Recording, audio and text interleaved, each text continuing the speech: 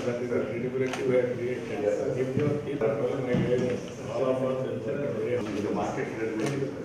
Market credibility, that is what we established over a period of time. Yes, sir. I'm very happy.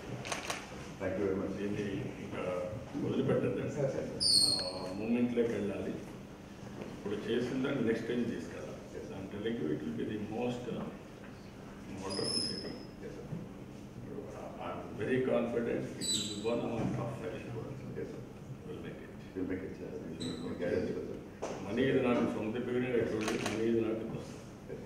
Nothing to. Yes, sir. Sir. So Thank you, you,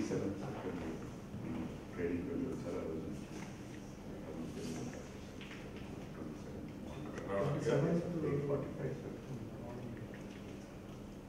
Morning eight forty-five. Nine fifteen,